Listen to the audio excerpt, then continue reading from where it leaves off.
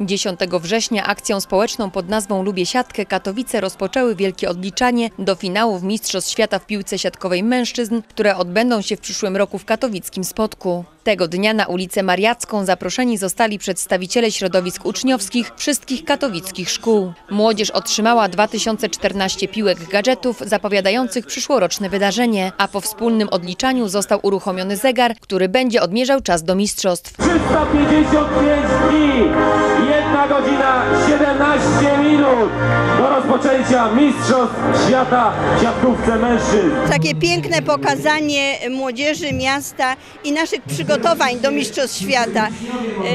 Widok Mariackiej z 2000 piłek jest naprawdę widokiem niezapomnianym i te zdjęcia na pewno i Wasze obrazy będą przypominały za rok o tej akcji i pokazywały, że e, przygotowanie mistrzostw to nie jest jedno zdarzenie, jeden, e, jedno organizacyjne spotkanie, to jest cały okres długiej pracy i włączania w to wszystkich, którzy chcą uczestniczyć przy siatkówce.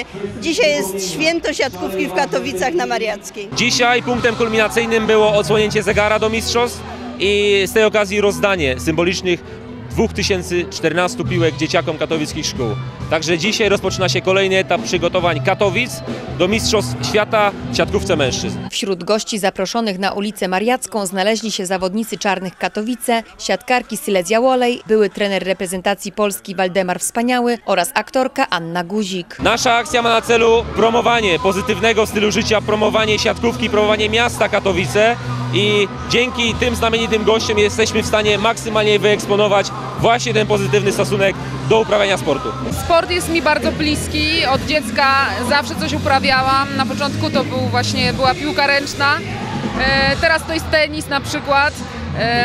No i wspieram wszelkie akcje, które e, wspierają właśnie no, kultywowanie tego sportu wśród młodzieży. No bo jednak teraz mamy, za moich czasów nie było aż tylu możliwości spędzenia wolnego czasu, jak na przykład komputer, telewizja. Po prostu siedzieliśmy właśnie z taką piłką e, na podwórku. Jeżeli ktoś miał piłkę do siatkówki, to był naprawdę bosem. Dlatego mam nadzieję, że, że dzieciaki chociaż w jakiejś tam części wrócą do tego, do tej tradycji. Katowice i Spodek to jest w ogóle historia polskiej siatkówki. Tutaj się odbywały najważniejsze mecze. Tutaj najważniejsze mecze polska reprezentacja i wygrywała, ale również przegrywała. Tu nigdy, tu po prostu jest taki klimat. Tu jest, jak z tego co wiem, bo tutaj dwa, sezony Ligi Światowej jako trener reprezentacji miałem możliwość grać i, i udało nam się wygrać dwa razy z Brazylią. To było coś spa- wspaniałego. Dotąd, dotąd to wspominamy.